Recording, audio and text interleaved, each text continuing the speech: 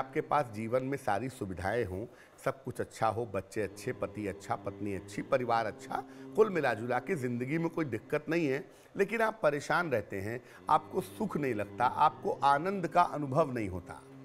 क्या करना चाहिए? अपने शयन कक्ष को, अपने बेडरूम को हमेशा साफ़ सुथरा रखें। जितना अपना बेडरूम आप बेहतर रखेंगे, उतना ही ज़्यादा आपके लिए बेहतर रहेगा।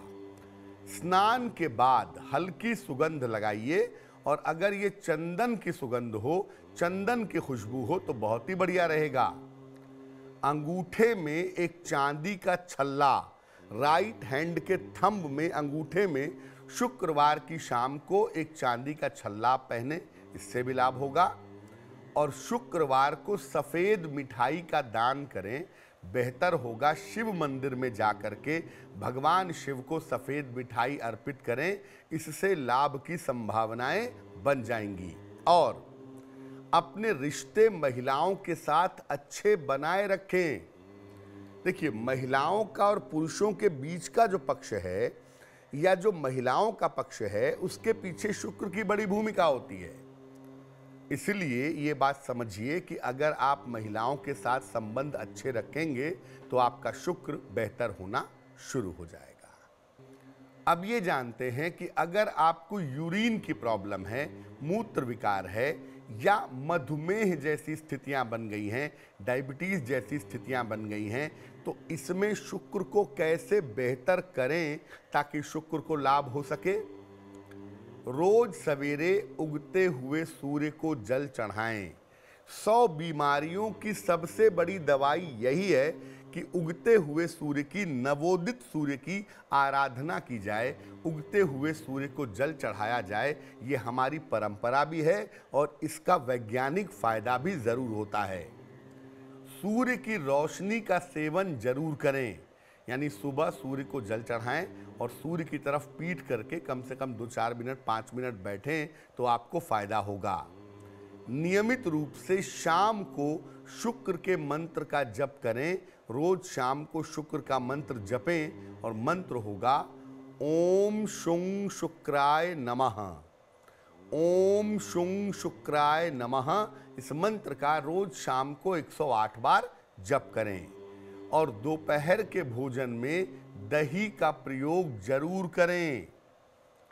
सफ़ेद रंग का ओपल धारण करें। देखिए, डायबिटीज़ के मामले में ओपल बड़ा कारगर रत्न माना जाता है और ऐसा मेरा स्वयं का भी अनुभव है कि ओपल अगर आपको थोड़ा भी सूट करे और अगर आपको डायबिटीज़ को कंट्रोल करना हो तो ओपल पहनने से डायबिटीज़ कंट्रोल में आ जाती है।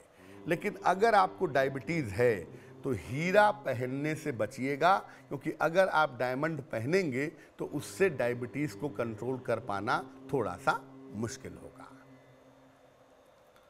अब मान लिया कि शुक्र की वजह से आँखों की समस्या हो रही है, यानी शुक्र की दशा आपकी चल रही है, अंतर दशा है, प्रत्यंतर दशा है, और उस दशा की वजह से आपकी आँखों में प्रॉब्लम आ रही है। क्या उपाय करें कि आँखों से जुड़ी हुई जो समस्या है, वो दूर हो जाए, वो ठीक हो जाए? पहली बात यह है कि सुबह जल्दी उठने का अभ्यास करें। प्रातःकाल जल्दी उठें। सफ़ेद रंग के वस्त्रों का प्रयोग करें। वाइट कलर के कपड़े अगर आप पहनते हैं ज़्यादा तो आपको फ़ायदा होगा।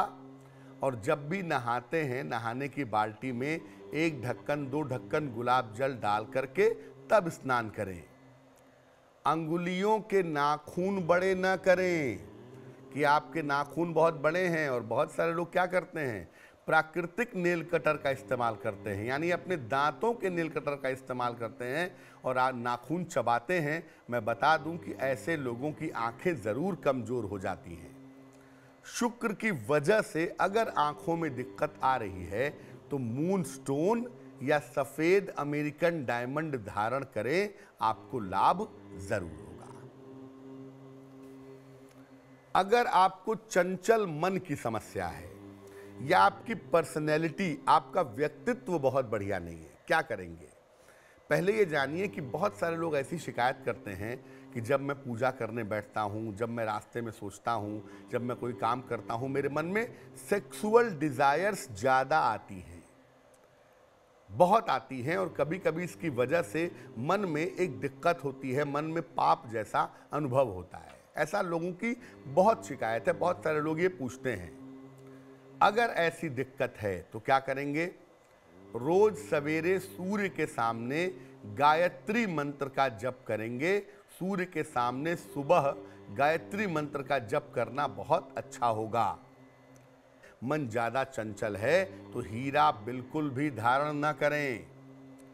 एक सोने का या पीतल का छल्ला, दाहिने हाथ की तर्जनी उंगली में, राइट हैंड की इंडेक्स फिंगर में अगर आप पहने तो बहुत अच्छा होगा। और शुक्र की वजह से अगर आपका मन चंचल है और ऐसी स्थिति में आप शशांक आसन करें तो आपको बहुत ज़्यादा फ़ायदा होगा, बहुत ज़्यादा लाभ की संभावनाएँ बन जाएगी।